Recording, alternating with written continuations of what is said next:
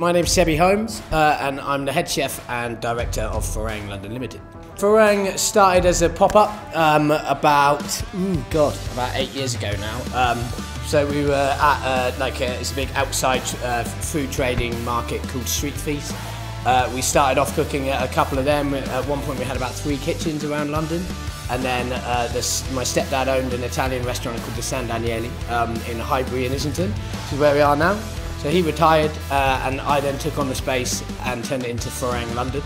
Uh, meaning foreigner in Thai. So the idea is that we fuse seasonal British ingredients, meat and fish, the best we can get hold of, with seasonal Thai ingredients which, that we fly in once a week. My brother got me into work experience, working in around Oxfordshire in kitchen in a like a gastro pub. And I went there, absolutely fell in love with it. Um, and then before I knew it, he was he was paying me. I was making sandwiches, burgers, and kind of stepped up to British European cuisine. Uh, I then stayed in the kitchen since then, uh, part-time and full-time. So when I first met Japanese Wagyu beef, it was very interesting actually. I've not worked with it uh, too much in the past, I have come across it in other kitchens. So as soon as I had the Japanese Wagyu beef put in front of me, I, I kind of thought I didn't want to play around with it too much.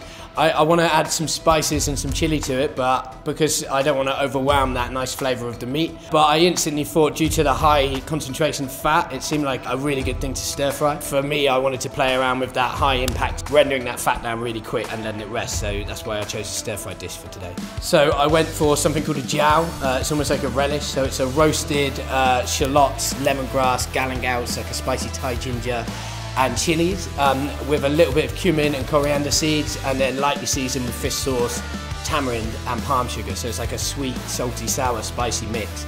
Uh, that's then pounded in a pestle and mortar to make a relish, which just goes in with the stir-fried beef. So it's just the beef on its own, uh, with a, a, bit of onion just to get colour on it, and then that jiao goes in just to lightly season it, but it doesn't overwhelm the flavour of the beef. So I've gone for pumpkin, roasted cherry tomatoes, and chili lemongrass jiao. I then infuse pineapple with vinegar, so you've got like a sweet sour element to the dish fish sauce as my salt. Obviously the beef itself is just lightly marinated in fragrant oil. If you're using the knuckle, which I was, uh, just to really ensure that it's not tough when you're stir frying it, marinate it in uh, some kind of fructose. Get it around the meat, leave it overnight, ideally 12 hours uh, in the fridge. If you're in a mad rush, you can do it ambient, like on so room temperature for a couple of hours, and that fructose and sugar will start to break down that fat so that as soon as you stir fry it, even if you bugger it up a little bit, it will still be really nice and tender. Everything's obviously slightly over seasoned, as it always is in Thai food, to season rice. So we're serving this as most stir fries would be served alongside steamed barley jasmine rice.